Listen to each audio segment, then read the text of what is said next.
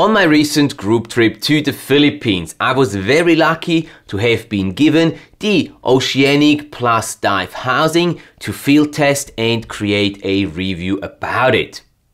I was very enthusiastic testing this very special piece of equipment, but had to realize early on in the testing that the Oceanic Plus Dive housing simply isn't quite ready yet and didn't work the way I expected.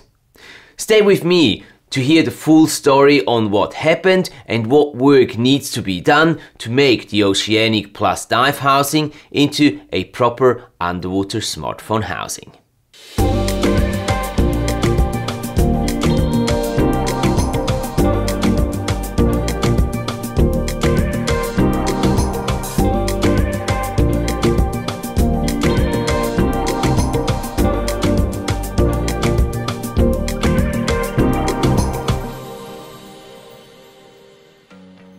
Welcome back to the channel guys, it's great to have you with us for today's video. Now as you've probably noticed from my introduction, I wasn't very happy with the Oceanic Plus dive housing from my first testing back in the Philippines a couple of weeks ago. Now there's a couple of reasons why this is the case and I'm happy to share those with you in today's video. But first, let me give you some important background information to put everything I'm about to tell you into perspective. Firstly, I'm not being paid by Oceanic or anyone else for that matter to create this video. Oceanic simply provided a test unit of their Oceanic Plus dive housing to me so I can test and review it for you guys. At the time I received the housing, it wasn't officially released for sale. This has changed in the meantime. Regardless, I am not aware that the unit that I was sent was a pre-production unit of any kind. The software has been updated a few times since, but the physical unit should be identical to the ones being sold right now, as far as I know. Secondly, I was asked by Oceanic to use a test flight version of their Oceanic Plus app for testing.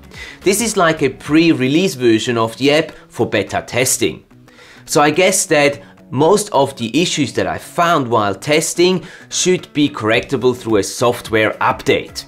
The question is only how long will Oceanic need to fix all those issues.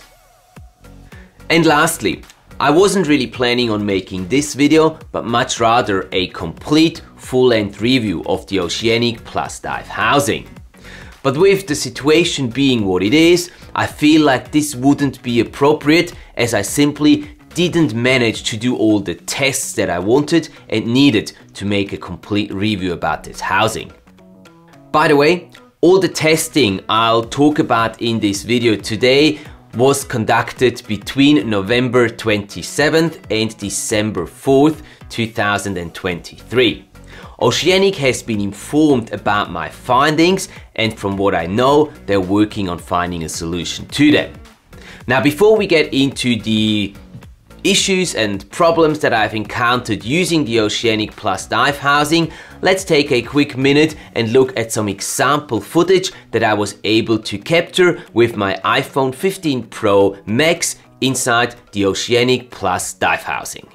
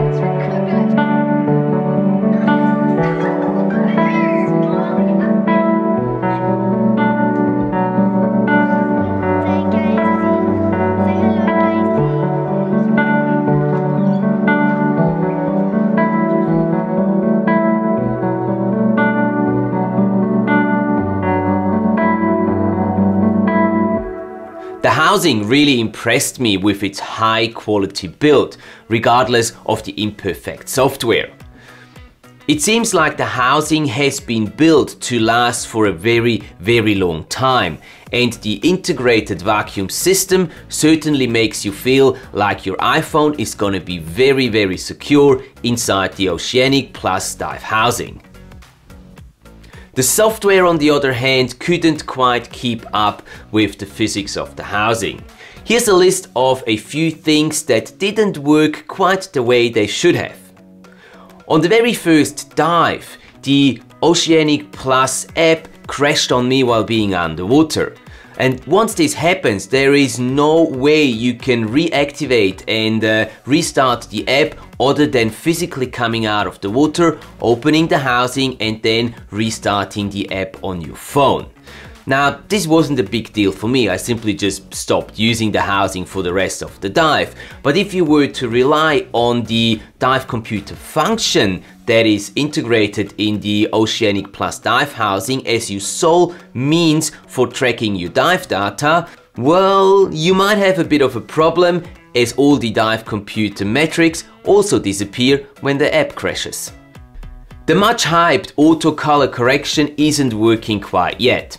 On one dive, when applying the auto color correction, it would display the correction on the screen and while I was recording, but it wouldn't save it to the file.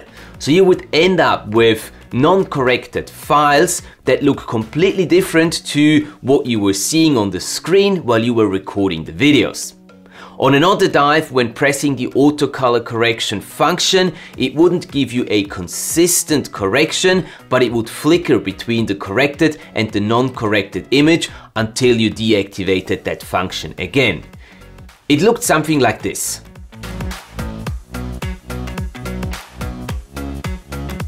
I couldn't access the 5 times telephoto lens through the Oceanic Plus dive housing and I wasn't able to activate video stabilization. Some of the shots that I took underwater were not displayed in the gallery section of the app.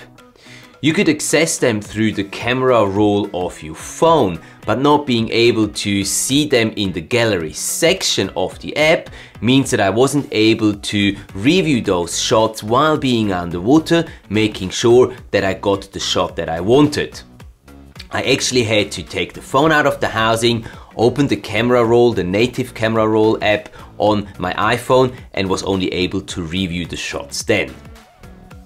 So those are the major things that I noticed during my first tests of the Oceanic Plus dive housing. And I really hope that the Oceanic team will be able to fix those software issues as quickly as possible. I mean, yes, you can certainly use the Oceanic Plus dive housing as it is now in conjunction with an iPhone as a dive computer. And no doubt about it that your iPhone will be very, very safe inside this housing. But using your iPhone's camera underwater won't be much fun this way and rather frustrating. Please Oceanic, fix those software issues real quick so I can give the testing another go while I'm in the Maldives in early December and create a proper full-length review about the Oceanic plus dive housing. I would really love that. So for the time being, and until they haven't fixed those issues, I can't really recommend the Oceanic Plus dive housing. This might obviously change in the future, but it is my opinion with my experience and the current situation on November 17th, 2023, the day this video has been recorded. And that's all I've got for you today. I hope this video was insightful and beneficial to you and I will obviously keep you posted on any further developments with the Oceanic Plus dive housing. Should you have any questions about the housing, feel free to put them down in the comment section below. Thank you very much for watching guys. Have a great week and I will see you in the next video.